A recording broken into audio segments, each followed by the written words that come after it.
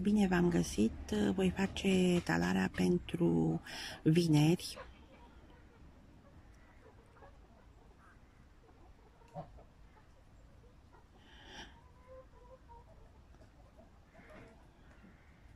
Pentru 6 6 noiembrie. Scorpionii. Contracte Uh, legate de o casă sau de case, deci contracte. Să vedem. Este și o amăgire aici. Sunteți alături de familie, dar totuși sunteți, uh, să zicem, uh, o amăgire, o iluzie.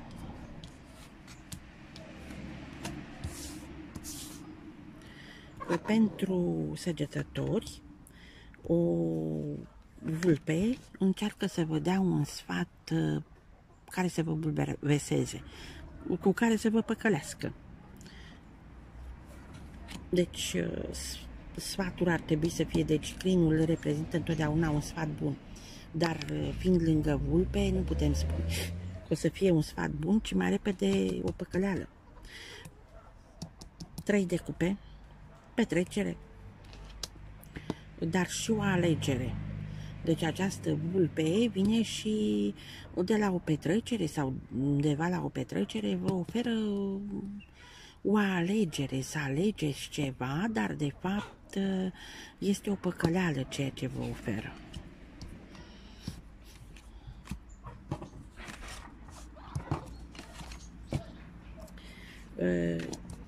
Capricorni o pierdere, pierdeți niște bani uh, legați de sănătate, de problema de sănătate a cuiva și uh, remușcări, regrete, păreri de rău, deci ambele, de 4 de spade, 8 de cupe, 8 de cupe, tot la fel, ați făcut tot ce ați putut și totuși uh, ceva nu merge. Aceasta ar fi situația.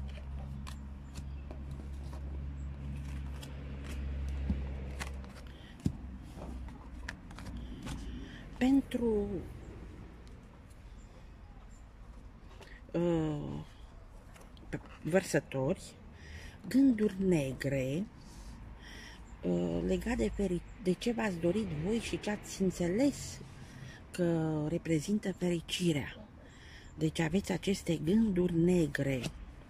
Uh, este un aspect karmic și un paș de bâte, o persoană cu un aspect pe berbec luna în berbec, ascendent în berbec, uh, o femeie, poate fi și o femeie, pajul întotdeauna poate fi și femeie.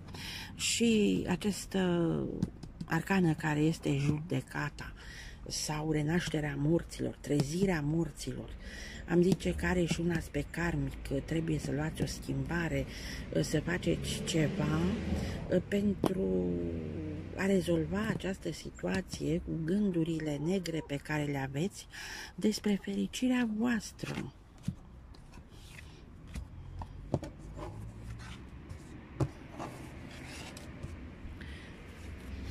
Pești, ancorare, dar uh, sunteți manipulați în această ancorare. Cineva vă manipulează, va duce și o pierdere de bani și un paj de cupe un prinț de cupe. Poate fi vorba de acest prinț de cupe, o persoană cu un aspect pe o zodia pești, dar un bărbat foarte tânăr, un fel de curtezan, care s-ar putea să fie o manipulare, sau voi să încercați să faceți o manipulare și pierdeți și bani.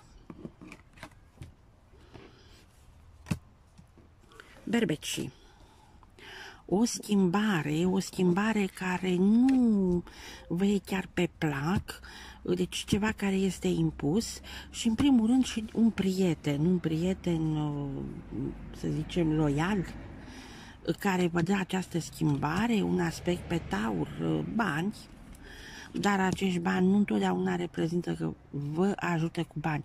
Vă ajută cu bani uh, și când împrumutați bani de la o bancă. De obicei, acest aur reprezintă finanțele și aceasta reprezintă o locuință, casă, de obicei, uh, investiții pe care le faceți legat de modernizare, de înfrumusețare, de decorare, eu știu, ceva care se schimbă. Dar nu e ceva rău. Totuși, cărțile, dar aici arată o schimbare. Taurii, o reușită socială într-o instituție.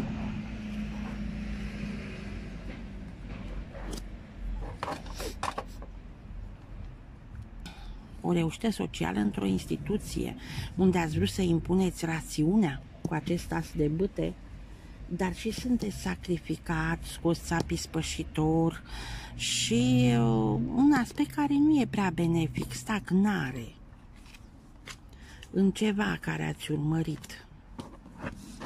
Taurii, să vedem gemenii. Gemenii, bani, de la un bărbat. Un bărbat vă aduce acești bani uh, un trai de bâte, o creativitate, începuturi noi, uh, dar și o ceartă. O inițiativă, deci aveți o inițiativă să faceți ceva care să vă aducă bani, dar și o ceartă cu un bărbat. O ceartă care este destul de urâtă, cinciul de uh, spade, uh, racii, un accident legat de o călătorie. Plecați undeva, mergeți undeva și apare ceva. Nu neapărat vouă vi se întâmplă accidentul. Puteți fi mai să vedeți acest accident. Cinciul de bâte, doiul de spade. Cinciul de bâte este rivalitate, concurență, concurs, o luptă pentru ceva și totuși sunteți indeciși. Nu puteți să faceți alegerea respectivă.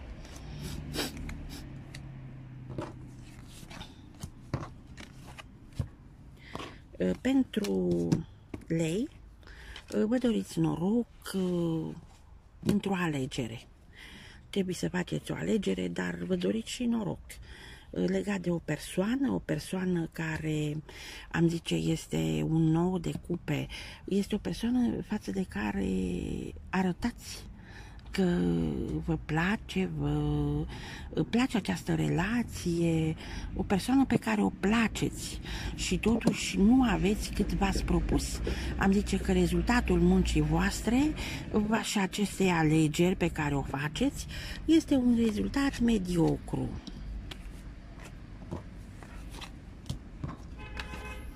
Cu toate că v-ați dorit norocul. Uh, lei, un obstacol și neutăți. Primiți neutăți, uh, lucruri pe care nu le știați despre un obstacol pe care îl aveți. Uh, împărăteasa și 10 de bâte. Am zice că ați muncit foarte mult și totuși nu primiți cât v-ați dorit.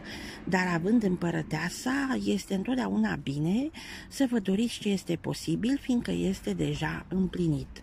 Cu toate că împărăteasa reprezintă și o femeie care are acea iubire uh, maternă, dar și stăpână. Deci o persoană care vă cere totuși supunere, ascultare,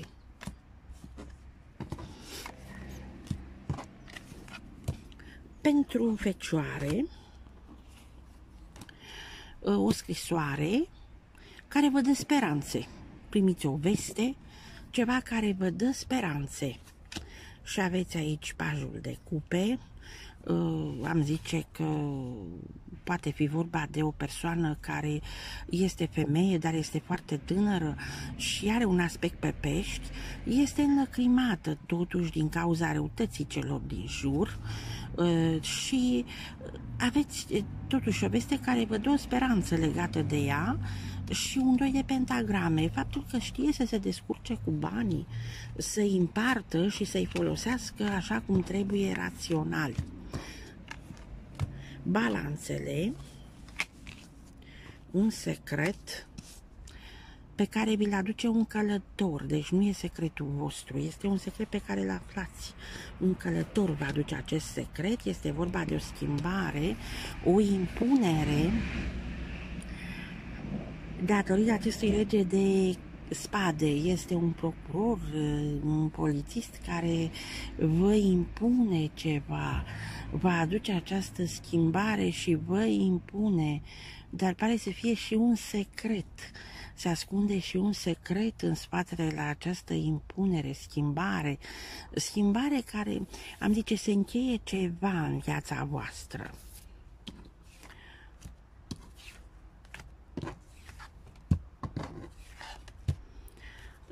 Pentru noi toți bârfe, discuții, certuri, în lucruri mărunte, ca de obicei. Comunicare la distanță, comunicare bine, o regină de bâte cu un aspect pe leu, care aduce aceste dispute, dar și luna, unde tot la fel oameni care se înșală, oameni care mint, care bârfesc, toate aspectele nedorite. Vă doresc mai bine!